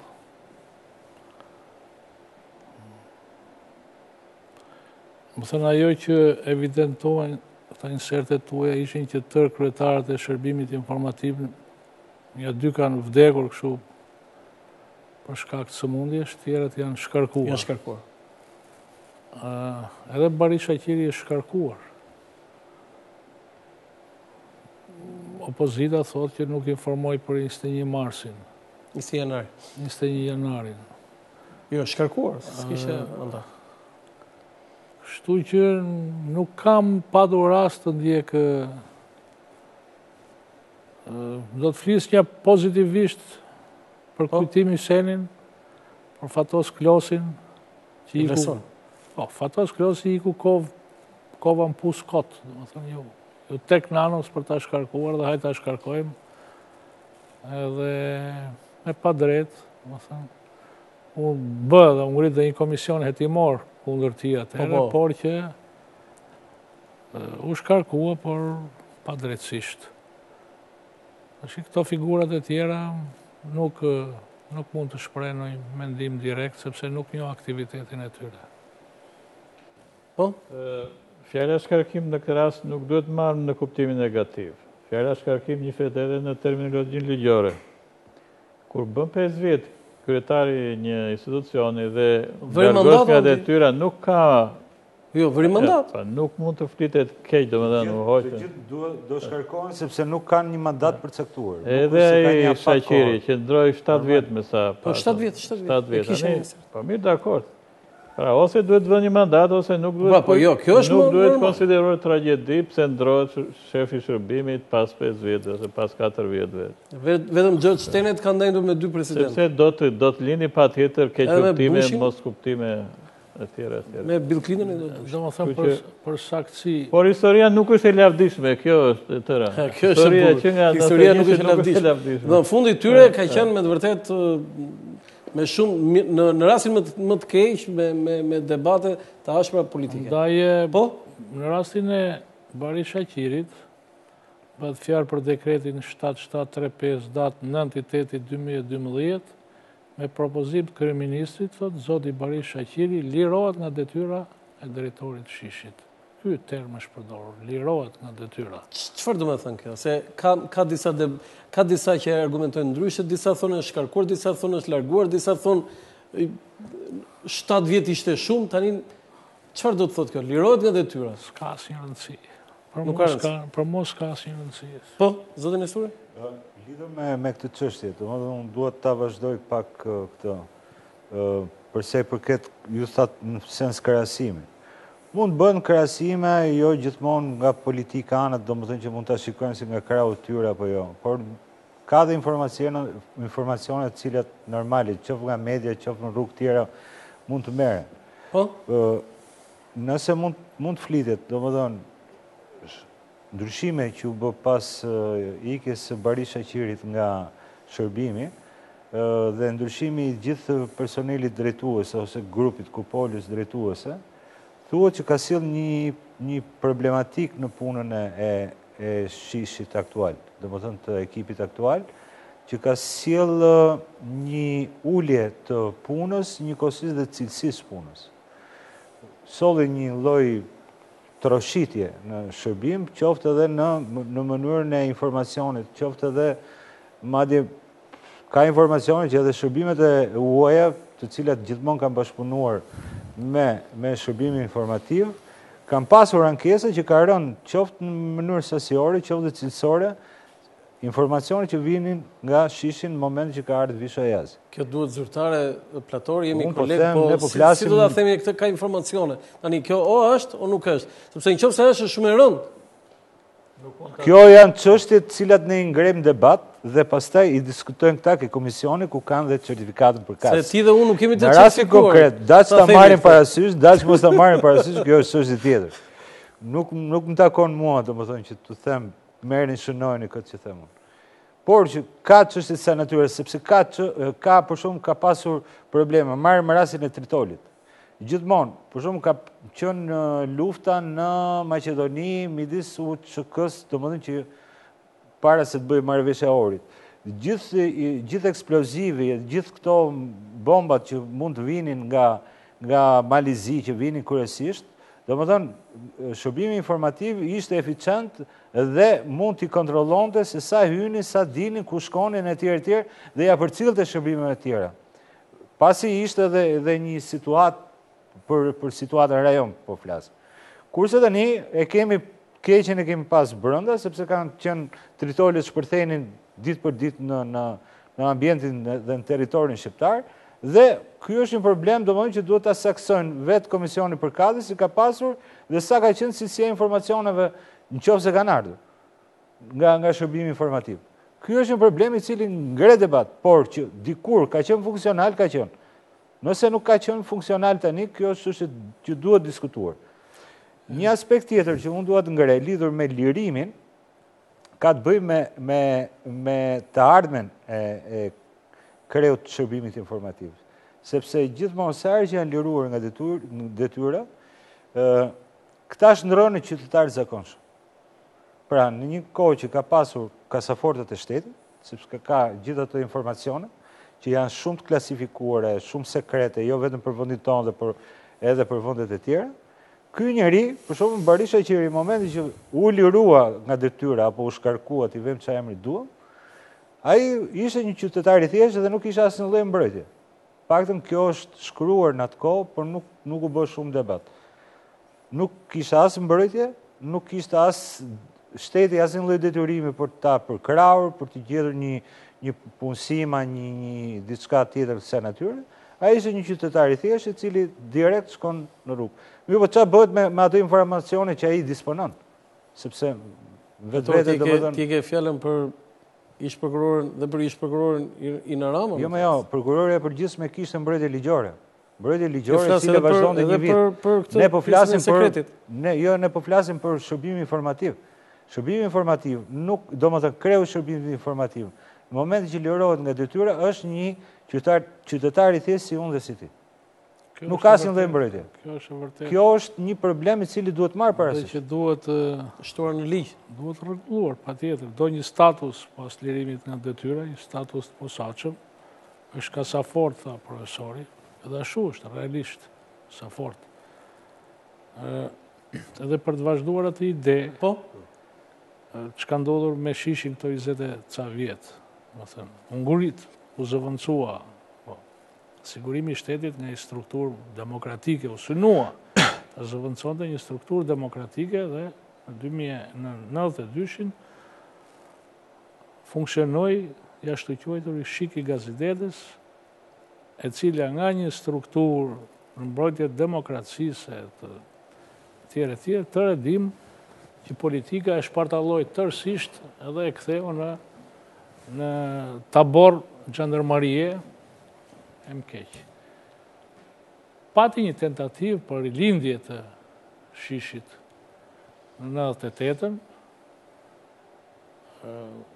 u bë ligji i posaçëm me asistencën e ndërkombëtarëve e të shërbimeve tjera, u vu në krye të kësaj strukture Fatos Klosi, një profesor, një intelektual i dëgjuar dhe shumë civil.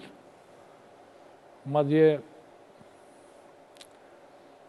edhe ne qeshëm fillimisht, ore si do ta bëjë ky njeri fizikant.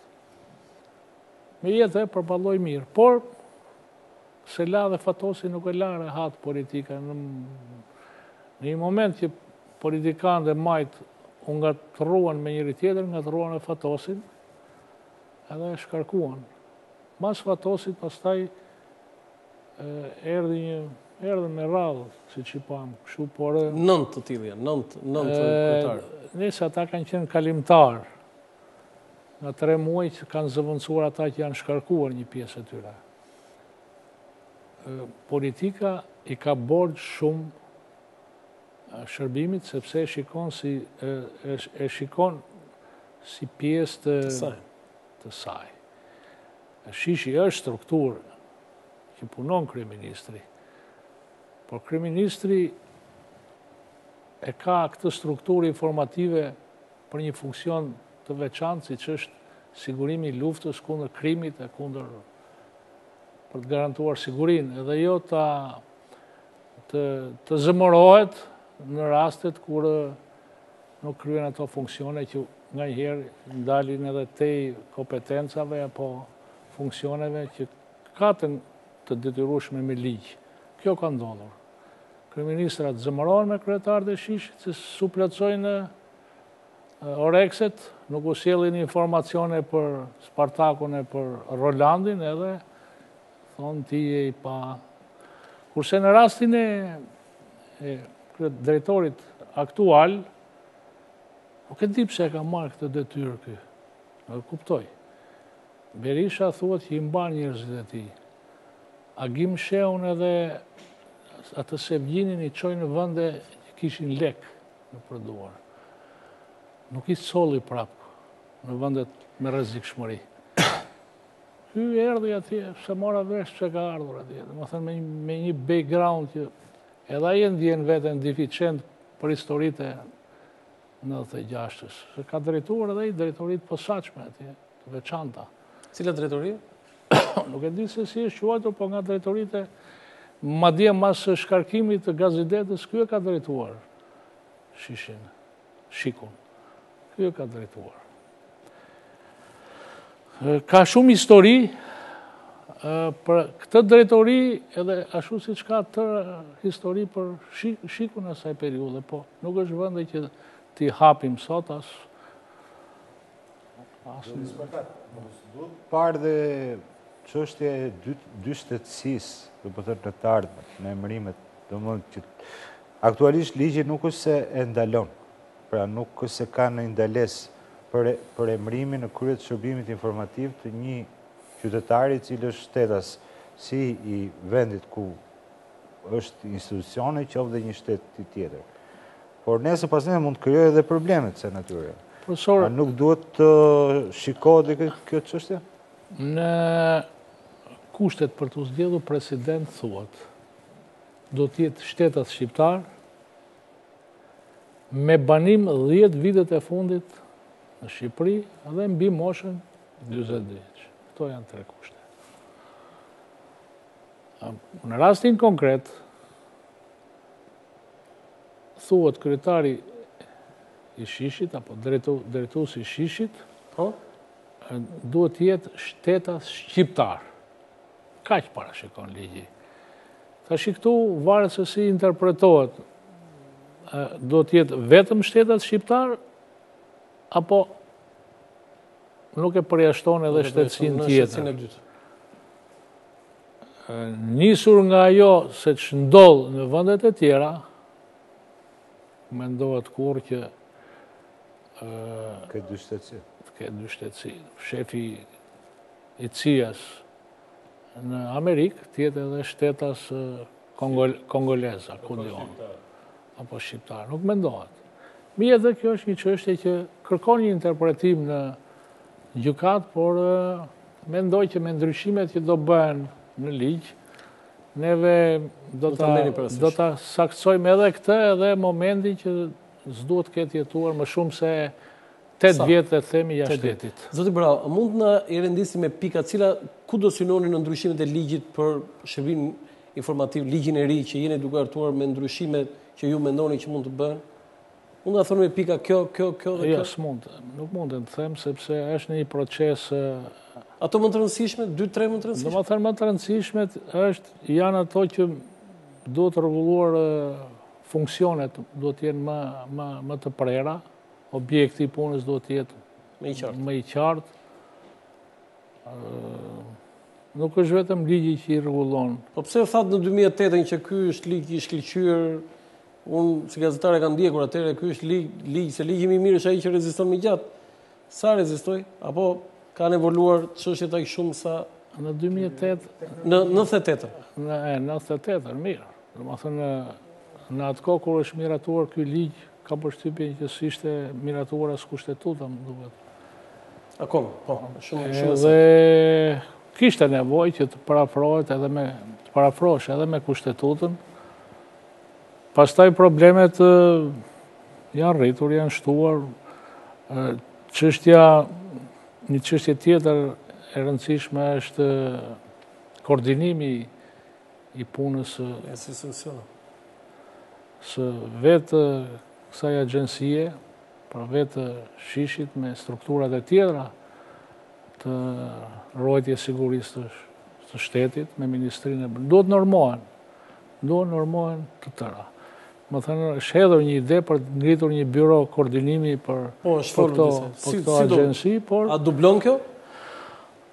Jo, për mua jo. Nuk e kam fjalën për byronë e hetimit, Se më ke bërë një pyetje që është byroja e hetimit. Kjo byroja koordinimit është tjetër gjë. Kjo ka nevojë të, të ngrihet një strukturë për të koordinuar. Që të mos livadhisi kështu siç livadhis, ngrihet SHISH-i, heton policinë. Merr vesh ti se çfarë bën vaki? Do, domethënë, duhet një byro që të koordinojë tëra agjencitë. Po? Sigurisht që disa handikape vijnë edhe sot që me rregullimin e certifikimit që është një nonsens që kryetari i SHIK-ut Ndodh të tilla gjëra që duhet, mendoj unë që duhet të ishte sipas parashikimit që ka pas parashikuar ligji i vjetër në pikën pesë të pjesës së parë, ku ishte ex officio. Domethënë ai e merrte certifikatën e sigurisë në momentin që emërohej. Po rregullimi i dy mijë e shtatës e hoqi, e shfuqizoi këtë pikë. Megjithatë unë mendoj që ka një për sa i përket aspektit legjislativ, mendoj që zë një vend shumë të rëndësishëm strategjia kombëtare e sigurisë. që është filluar tashmë nga presidenti, që është një ekskluzivitet i kryeministrit, dhe ne e kemi pothuajse në shkelje të plotë të ligjit që në dy mijë e katër. Ndërkohë që pika e fundit thotë që ajo duhet ribërë ose riparë çdo tre vite nga kryeministri. Pra që kur ajo është, si të thuash, para se Shqipëria të hynte në NATO, ndërkohë që ne jemi shumë vite pas NATO-s. Dhe në këtë pjesë e shoh shumë problem dhe mund t'ju pyes, cila ka qenë, si të thuash, ai kontrolli apo roli legjislativ i Komisionit në raport me këtë çështje, sepse dhe Shërbimi Informativ funksionon, si të thuash e ka objekt të të veprimtarisë ose udhë udhëhiqet nga nga kjo strategji. Dhe ndërkohë që kjo strategji ka qenë nuk e kam idenë, jo unë, po ndoshta dhe shumë të tjerë, pse ka qëndruar në vend për 10 vite kjo strategji? Të jemi të sinqertë, E kam konstatuar që ditën që jam zgjedhur në atë funksion që përse ka mbetur ky vend pa një strategji të sigurisë kombëtare, që nga 2004. Madje u pranuam edhe në NATO dhe duhet të ishin ndryshuar shumë. është një handikap i rëndësishëm, Qe objekti i mbledhjes së fundit të Komitetit Ndërshtetëror të Sigurisë Kombëtare, drejtuar nga kryeministri, më pas një mbledhje me një objektiv të tillë drejtoi edhe presidenti i Republikës, ka një sugjerim të fortë të ndërkombëtarëve për të miratuar strategjinë, besoj brenda korrikut, domethënë gjërat janë vënë në vijë, po punohet, veçanërisht nga Ministria e Jashtme që udhëheq dhe drejton këtë çështje që të miratohet. Tashti komisioni nxit strukturat shtetërore, ekzekutive për këto punë. Kryesisht ne jemi fokusuar në këto vërejtjet që bëhen për dispozitat e ndryshme të ligjeve që kalojnë në komision, të mjaft ligjeve që lidhen me sigurinë kombëtare apo me marrëveshje që garantojnë marrëdhëniet midis Shqipërisë dhe vendeve të tjera, por që pa dyshim në objektin e komisionit do të jetë edhe kontrolli parlamentar në tërë fushat, jo vetëm mbi SHISH-in, ne kemi të drejtë dhe do të kemi objekt kontrolli dhe policinë, Ministrinë e Rendit, Ministrinë e Mbrojtjes, Ministrinë e Financave, sepse pjesë e sigurisë kombëtare është edhe siguria financiare. Evazionet e ndryshme. Evazionet e ndryshme. Me këtë rast, unë doja t'ju vija në dijeni që po, është cënuar rëndë edhe siguria kombëtare në fushën financiare. e ashtuquajtura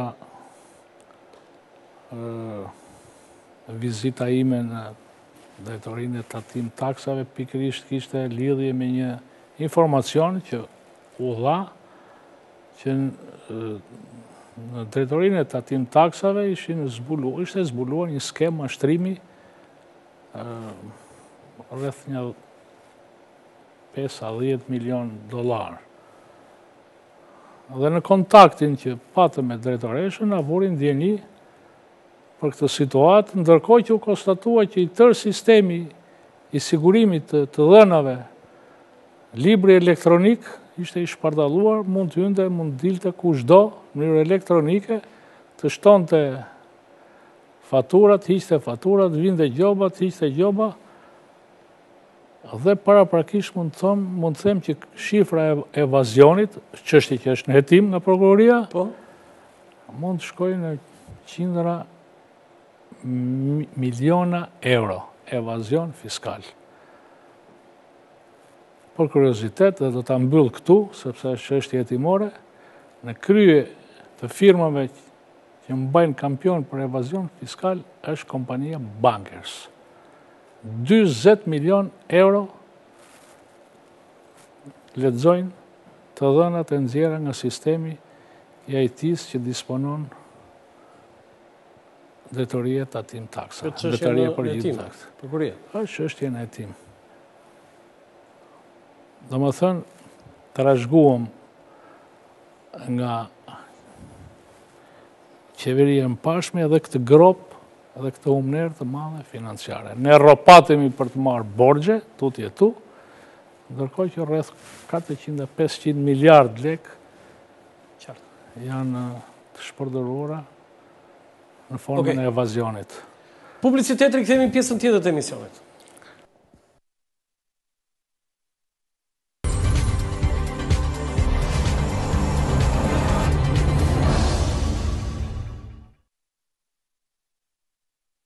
Faleminderit, kemi ardhur në pjesën e fundit të emisionit, zoti Jupi. Për problemet e qeverisjes në përgjithësi. Patjetër mund të përgjigjet gjithçka, zoti Braho, se e gozhduan vetëm te SHISH-i dhe zoti Braho është... Më latë pak kohë për problemet po e qeverisë. Po s'e ka zoti Braho, tani, nuk e ka zoti Braho përgjegjësinë e qeverisë. Po, Unë mendoj që qeverisja e deritanishme ka qenë në, në një situatë të dy pushtetit. Dhe kjo e ka penguar qeverisjen. Dy pushtet do të thotë atëhere kur parlamenti dhe qeveria janë një pushtet dhe disa pushtete të tjera, kushtetuse dhe janë dhe ato, nuk janë plotësisht në harmoni me qeverinë, Ose janë mbeturina të së kaluarës. Siç ishte edhe shërbimi kombëtar që ne e trajtuam dhe që në vend që ta ta ndihmojnë qeverinë që të punojë, e pengojnë atë. Kjo ky gjashtëmujor deri më sot sipas meje është karakterizuar nga kjo situatë. Pra ne kemi një president që ka një kontradiktë me qeverinë, Ne kemi një SHISH që ka një kontradiktë me qeverinë, ne kemi një Këshill të Lartë të Drejtësisë që ka një kontradiktë me qeverinë, dhe po kështu edhe agjenci të tjera. Po kemi pasur ndonjëherë në këto 24 vjet që s'kanë pasur një kontradiktë me qeverinë o jo, ti je gazetar i vjetër. Pas, kemi pas situata. Kemi pas dhe situata të këtilla, por veçanërisht kjo është e pa Unë u trishtova shumë një ditë kur pashë që ministri i Drejtësisë kishte propozuar nëntë gjyqtarë që kishin mbaruar magjistraturën për t'u emëruar në vende pune dhe Këshilli i Lartë i Drejtësisë nuk emëroi asnjërin prej tyre, por emëroi nëntë gjyqtarë të tjerë. Dihet që magjistratura është shkollë pasuniversitare, trevjeçare, Dihet që aty shkohet me konkurs, aty shkojnë më të mirët. Dihet që ata ishin përgatitur në kohën e qeverisë së Partisë Demokratike, nuk i nuk i kishin përgatitur socialistët, dhe tani do të emroheshin, por nuk u emruan. Kjo e dëmton shumë pastaj imazhin e drejtësisë në opinionin publik. E kështu mund të vazhdonim me SHISH-in folëm, Tani ka probleme edhe me, me, me prokurorin. Çfarë probleme ka me prokurorin?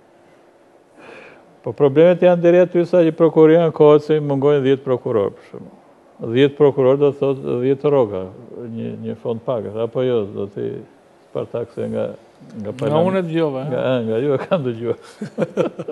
Jo, ju po i drejtoheni, siç ka thënë Zoti Meta, prokurori i përgjithshëm. Por ne kemi dhe një gjykatë të lartë, të cilës i mungojnë tre gjyqtarë, dhe ajo thotë që duhet të shtohen gjyqtarët, sepse janë mal ato dosjet aty me çështje, dhe që nuk emërohen, sepse kemi atë kontradiktë midis presidentit dhe parlamentit. Dy të propozuar nga presidenti u rrëzuan dhe tani pritet që të rrëzohet edhe një i tretë, sepse nuk u mor mendimi i i parlamentit paraprakisht nga presidenti. Kjo situatë për fat të keq do të vazhdojë edhe edhe edhe disa kohë. Kishit diçka për zotin Brau? Për zotin Braho uroj që të jetë po kaq aktiv sa ç'ka qenë deri tani në këto çështje në parlament. Nuk kam ndonjë gjë tjetër. Na ndihmoi sot me informacion të bollshëm për një sektor që ne nuk e njohim sepse nuk është fusha jonë. Jo, edhe në gazetari, Andi, ne gazetarë kemi kështu që s'ka gazetar zoti Braho që të mbulojë shërbimin informativ po, shtetëror. Po, Prandaj edhe të gjithë, të gjitha nuk e njohin. Nuk ka çfarë të mbulojë se praktikisht ai nuk është askundi, nuk duhet të jetë. Nuk ndodh kështu me CIA-n. Nuk duhet të jetë. Nuk ndodh kështu me CIA-n. Ka, patjetër. Se është një superfuqi. Normale që duhet të ketë nga ato gazetarë që njohin. Kështu që kjo është çështje tjetër. Me po- me nënkuptim të fortë është kjo. Po.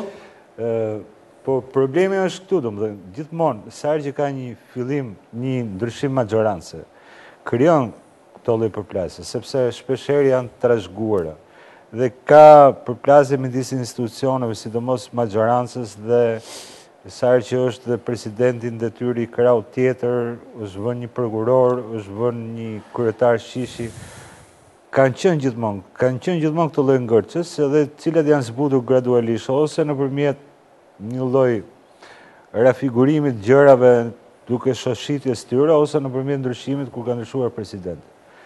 Kemi parasysh se edhe rasti i zotit Moisiu apo zotit Topi në krye kur kanë qenë presidentë, i kishin ishin lloj pengese për të marrë një pushtet shumë të madh të kryeministrit Berisha në atë kohë.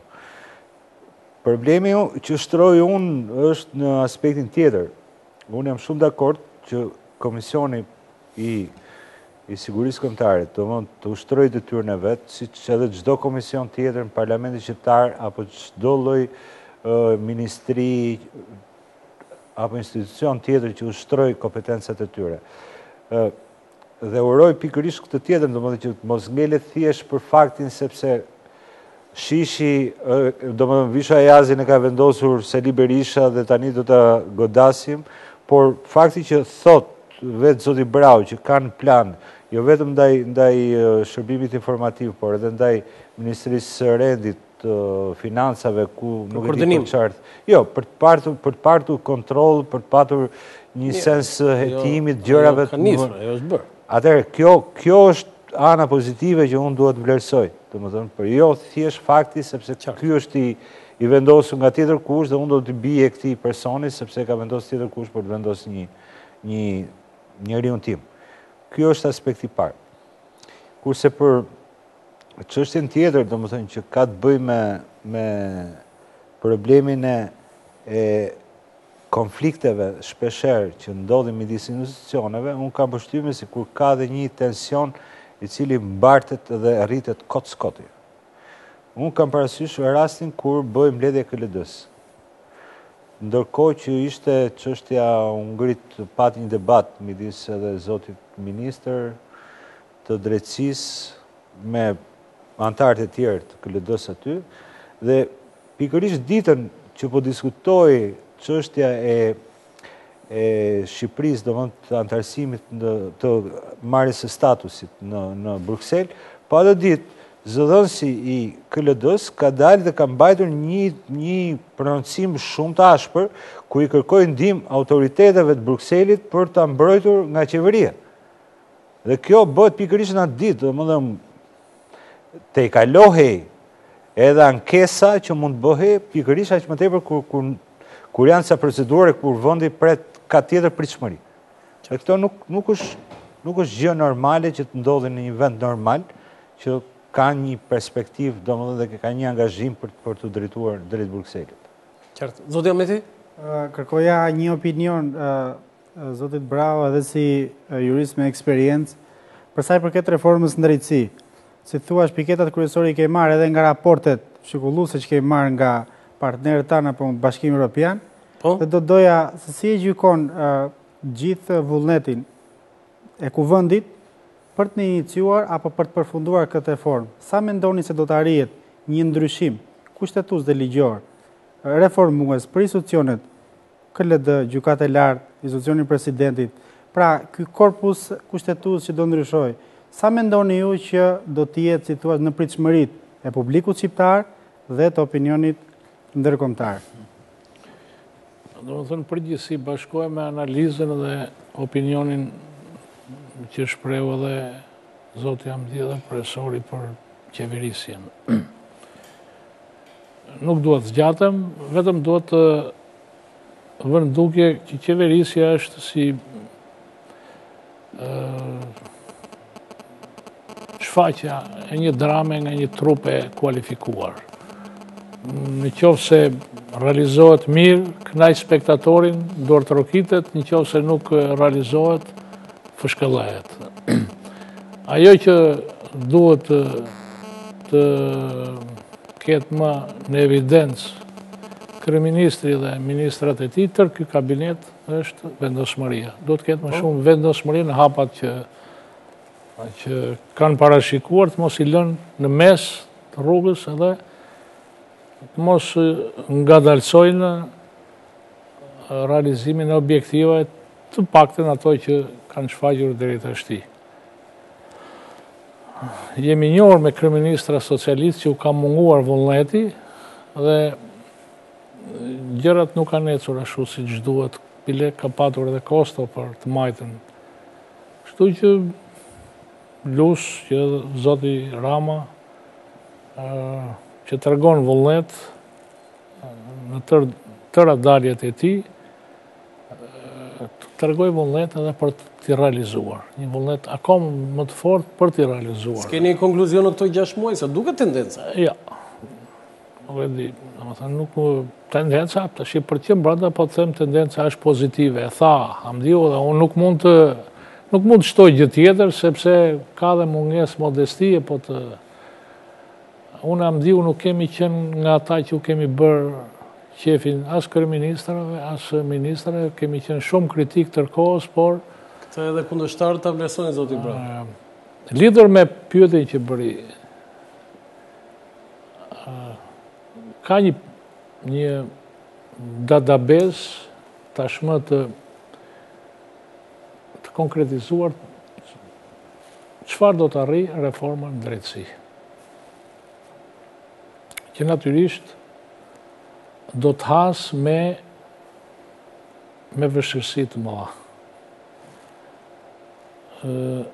Sot, këshilli i lartë i drejtësisë përbën elementin më të rrezikshëm për sigurinë kombëtare. Këtë deklaratë bëj unë. Shumë e fortë kjo zot. Që do të thotë që ky këshill ky mirë thashë këshill i lartë i drasë i drejtësisë duhet të shpartalluar menjëherë si qysh tek nuk është kollaj është shumë e vështirë Ka një opozicion dhe një sulm në mbrojtje të atyre që përbëjnë këshillin e lartë drejtësisë. Ka një radhë jo të dobishme, po të dëmshme në radhët e anëtarëve të këshillit lartë drejtësisë, do të bëhen të tëra me, me reformë, me, duke reformuar ligjin, për organizimin dhe funksionimin e Këshillit të Lartë Drejtësisë, pse jo dhe kushtetutën, po të jetë nevoja, duhet patjetër, ashtu siç do të ecin reforma edhe në gjyqësor, duke parashikuar ndryshime në ligjin për gjykatën kushtetuese, për gjykatën e lartë, legjislacionin në tërësi, ku thembrën e Akilit E përbën ai perceptim i sotëm jo vetëm i publikut, por edhe i ndërkombëtarëve që gjyqësori sot është një moçal, është kthyer në një në një stan me në përgjithësi me, me njerëz që vetëm drejtësi nuk japin, natyrisht që Ministri i Drejtësisë është i angazhuar për ta bërë këtë reformë, se natyrisht nën drejtimin e tij do të bëhet. Këto javët që kaloi edhe këtë ja, edhe sot madje janë miratuar ligje të rëndësishme që ligjet antimafia, ligjet antimafias. Po është diskutuar. Kështu që do të ecim Me vështirësi po jemi të vendosur që të ecim në rrugën e reformimit të sistemit të drejtësisë. Ka patur ankesa se Parlamenti nuk ka patur projektligje, se Qeveria nuk ka sjellë projektligje. Si është kjo situatë në Parlament? Është e vërtetë kjo apo? Zoti Berisha ka thënë këtë. Po e ka thënë në mënyrë të përsëritur. Po, disa herë. Dua të di, Qeveria nuk po e furnizon Parlamentin Tani është përmirësuar situata, si është? Domethënë, pa dyshim që një qeveri që fillon sot nuk mund të... Po ka filluar para 6 muajsh, nuk po fillon, pra, sot. Po flas për para 6 muajsh, periudha e 2-3 muajve të parë ashtu ka qenë. Sepse ndodhi dhe diçka tjetër, ato sirtarët e parlamentit plot ishin me projektligje të, po, të sjella nga koha e qeverisë Berisha. Por iu sugjerua dhe iu kërkua qeverisë së re Rama që tërhiqi edhe një herë, rishikoji, po, edhe kjo e krijoi atë boshllëkun në kohë. U mbush me disa marrëveshje që s'kanë kanë autorësi tjetër, kanë objekt tjetër, por tani ne miratojmë e shqyrtojmë çdo ditë projektligje që vijnë nga qeveria. Po. Bile mjaft të rëndësishme. Okej. Zoti Braho, kemi ardhur në fund të emisionit. Të falenderoj për mendimet, informacionet, komentet dhe gjithçka që ju bëtë për rreth dy orë në emisionin tim. Faleminderit edhe prej jush. Mendoj që do të takohemi prapë. Patjetër është kënaqësi zoti Braho. Është me të vërtetë e veçantë të kesh ju në emision. Faleminderit dhe ju të nderuar kolegë që ndatë me mua bisedat dhe komente dhe pyetje që i drejtuam zotit Braho. Të nderuar teleshikues, ky është emisioni im për sot, nesër në orën 13:00 ritransmetim nga unë Roland Qafoku, natë e mirë.